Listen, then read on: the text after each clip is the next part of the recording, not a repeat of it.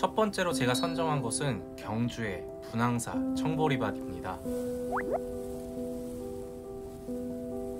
분황사 청보리밭은 SNS에 정말 많은 분들이 다녀갈 정도로 너무나도 유명한 곳인데요. 제가 방문했을 때도 청보리들이 이제 초록색의 싱그러움을 예쁘게 내뿜고 있어서 정말 아름다웠습니다. 넓은 공간에 청보리가 가득 심어져 있어서 초록의 매력을 느낄 수 있었는데요. 분황사 청보리밭은 키들이 작기 때문에 이 청보리밭 사이사이를 지나갈 수가 있어서 청보리밭 사이에 들어가서 사진 찍기에는 정말 좋은 곳이었습니다. 하지만 청보리 키가 매우 낮아서 저는 삼각대를 꼭 가지고 가서 낮은 위치에 설치해 놓고 사진을 찍어야 예쁘게 나올 것 같더라고요. 그래서 경주에 갈 예정이라면 분황사 청보리밭도 꼭 한번 가보시기 바랍니다. 두 번째는 하만의 청보리밭으로 한번 떠나보도록 하겠습니다. 제가 작년에 하만 강나루 생태공원에서 청보리밭을 갔다 온 적이 있었는데요. 작년에 갔을 때는 청보리가 익을 시즌에 가서 황금빛 보리를 보고 왔지만 아마 지금 시즌에 방문하신다면 푸릇푸릇한 청보리를 볼 수 있을 거라고 저는 생각합니다. 이 강나루 생태공원도 굉장히 넓은 부지에 심어 있어서 너무나도 아름다웠고요. 또 바람이 많이 부는 곳이라 이 바람에 흩날리는 청보리들이 정말 매력적이었습니다. 이제 5월이 되면 하만도 굉장히 많은 분들이 방문하실 거라고 생각하는데요. 하지만 이 광나루 생태공원은 아직까지 많은 분들이 잘 모르시는 청보리 명소입니다. 그렇기 때문에 하만에 방문하시는 분들이라면 이 강나루 생태공원에 있는 청보리밭도 꼭 잊지 마시고 방문하셨으면 좋겠습니다. 세 번째로는 작년에 가장 핫했던 청보리밭으로 떠나보겠습니다. 바로 보령 천분면에 있는 청보리밭인데요. 여기 청보리밭이 정말 작년에 너무나도 핫해서 많은 분들이 다녀간 곳입니다.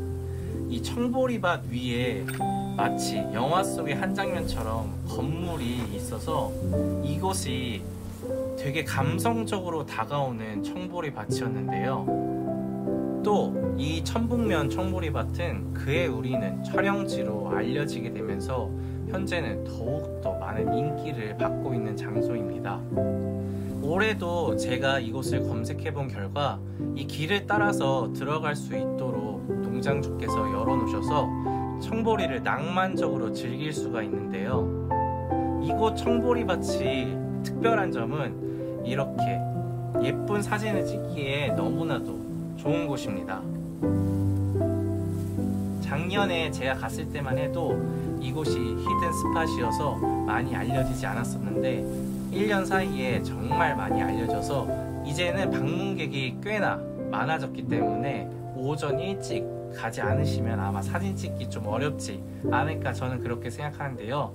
그래도 이 너무나도 아름다운 보령의 청보리밭을 꼭 한번 방문해 보셨으면 저는 좋겠습니다. 그리고 아직까지 보령에 숨겨진 청보리밭이 있는데요.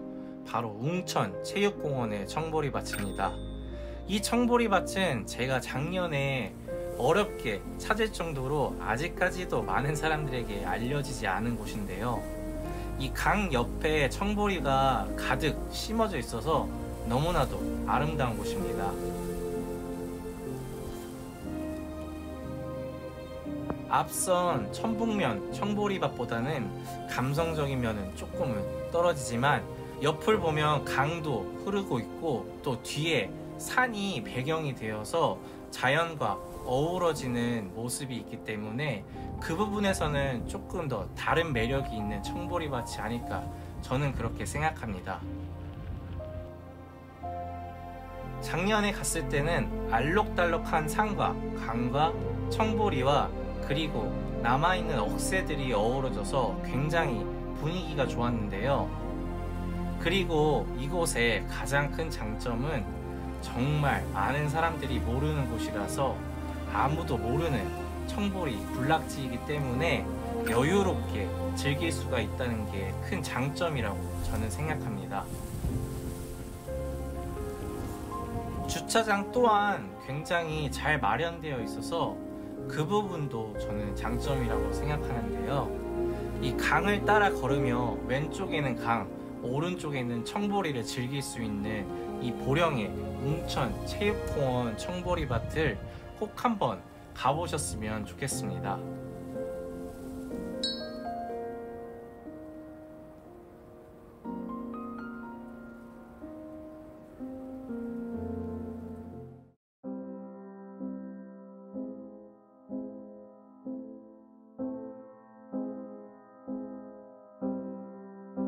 이맘때쯤 되면 많은 분들이 학원 농장의 청보리를 즐기기 위해서 방문하시는데요.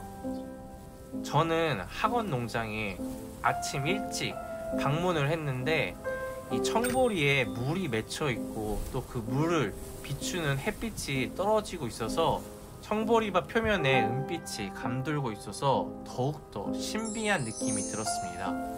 그래서 청보리밭을 방문할 계획이시라면 일교차가 심한 요즘에는 아침 일찍 방문하신다면 더 좋을 듯 합니다. 학원 농장의 메인 청보리 밭에는 유채꽃과 지금 청보리가 같이 심어져 있는데요. 아쉽게도 유채꽃은 거의 다 지고 있어서 노란 유채꽃을 기대하시면은 조금은 아쉽지 않을까 그렇게 생각합니다. 하지만 유채꽃과 청보리가 어우러지는 부분들이 굉장히 재미있고 색이 예뻐서 충분히 즐기실 수 있는데요.